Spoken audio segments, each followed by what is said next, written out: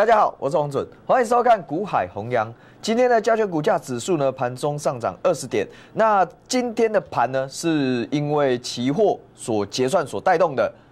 但是呢，该涨而未涨的盘，大家一定要特别的注意跟小心哦。操作股票呢，三件重要的事情：第一个，你要判断整个趋势；第二个，你要拟定你你的策略；第三个才是选择你的股票。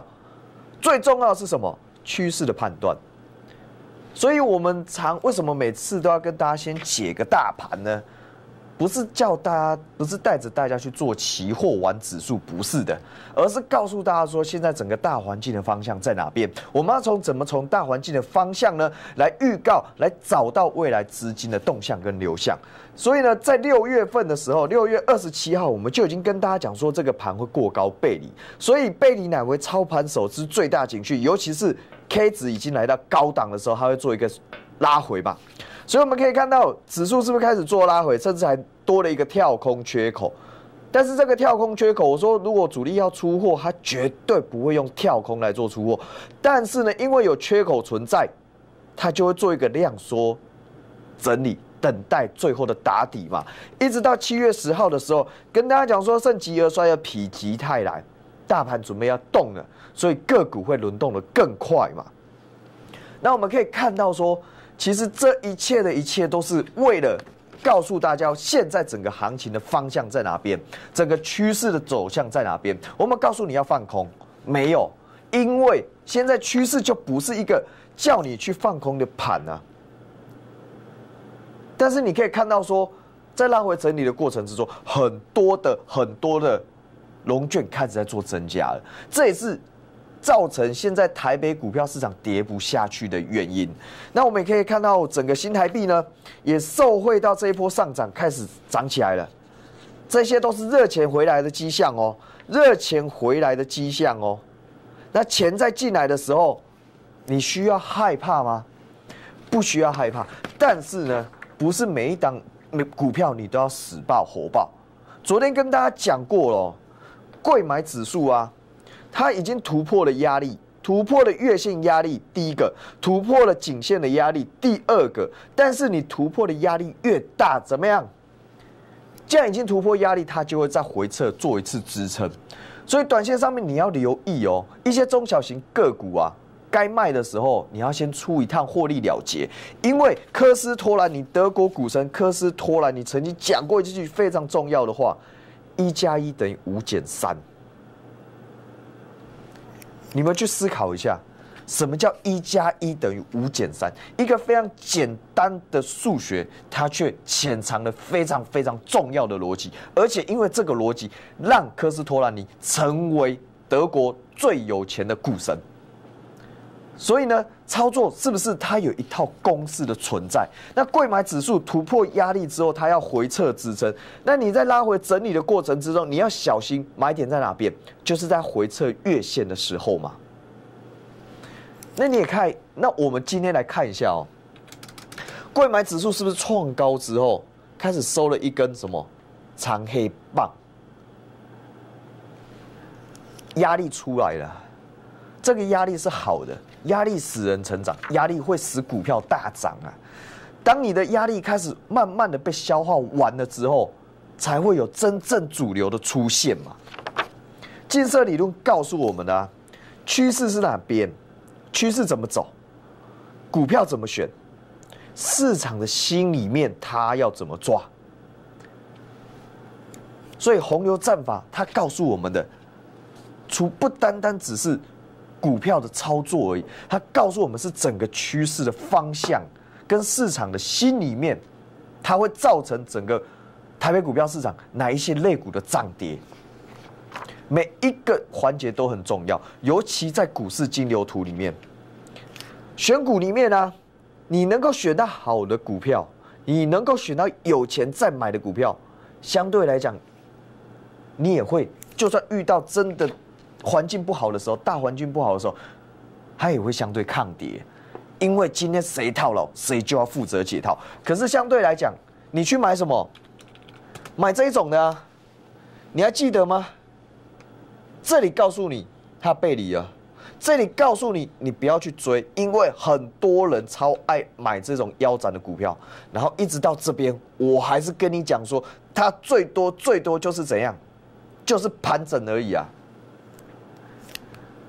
但是很多人不信邪，即使它今天涨停板，我还是要告诉你，这种股票千万不要去做，因为一千三百多档股票，你不要去选择那种觉得它跌很多，但是还有很多可以跌的股票。金牛图都已经跟我们讲了，你就跟着金牛去做嘛。贵买电子零组件啊，既然有资金在做进场布局，那这些股票是什么？抓出来啊！那我记得我有跟大家讲过嘛，九号是先创新高了，我们这个也做过一趟啊，台药也做过一趟啊，现在换谁？换日亚。所以个股。类股它会轮动，个股它会轮涨，只要有资金在买的股票，早涨晚涨它都得涨嘛。所以我们在七月十二号的时候，十九点七元就叫大家大家去买什么六二零八的日阳啊，十九点六元全部可以成交嘛，有量给我们买。十七号昨天已经创高获利 ing 十个 percent 了嘛。有很长的时间吗？我刚牙呢，但是风险跟利润之间的考量，你不觉得这种股票相对安全很多吗？如果你把它换算成年化报酬率的时候，它几乎高达六百个 percent 呢。但是我们今天把它出掉了，我没有出在最高点，但是我们已经把它出清了，获利的幅度绝对高于昨天。既然我知道整个大方向，整个贵买指数它必须要做一个回撤，那相对来讲，我就必须要怎样，带着会员先跑一趟啊，不是死抱活抱，不是，不是一直抱着股票不放，一加一等于五减三呐，一加一等于五减三，同学你们了解吗？胜兵是先求胜而后求战，败兵才是先求战而后求胜嘛。所以，我们是要带着人家去打仗，我们要带着我们会员，在这个非常险阻的环境里面，跟一群、跟一群懂得控制媒体的人来作战。那你要怎么打？你要怎么打？你一定要武器呀，而不是靠什么？靠想象力吗？听到我 calling 的代起，还记得我们怎么操作值得了吗？一五九七的值得，当它出现量占比从两百来到二十的时候，哎。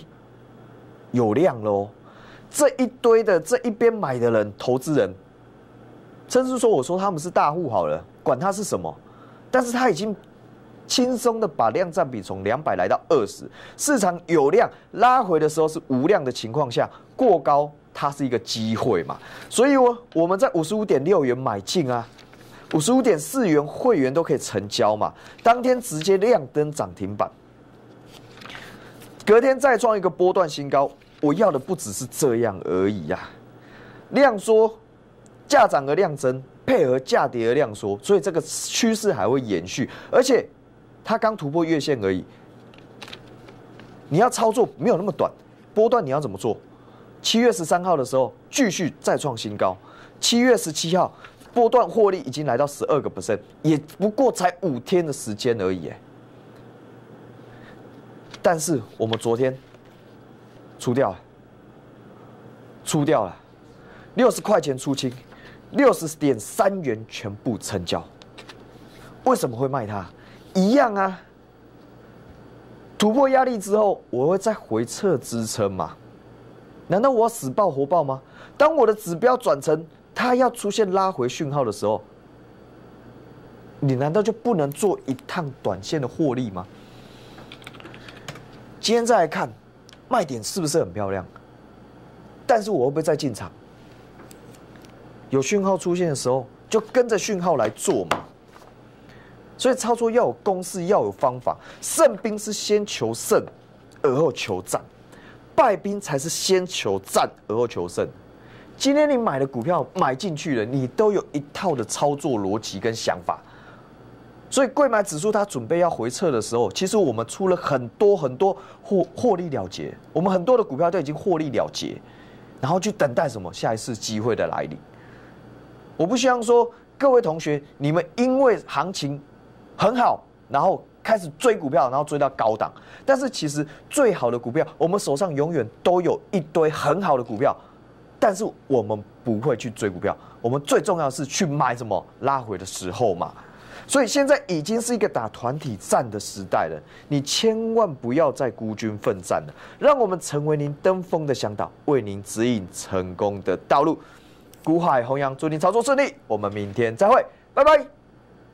本服务公司与所推荐分期之客也有大证券无不当之财务利益关系，以往之绩效不保证未来获利。本节目资料仅供参考，投资人应独立判断、审慎评估并自负投资风险。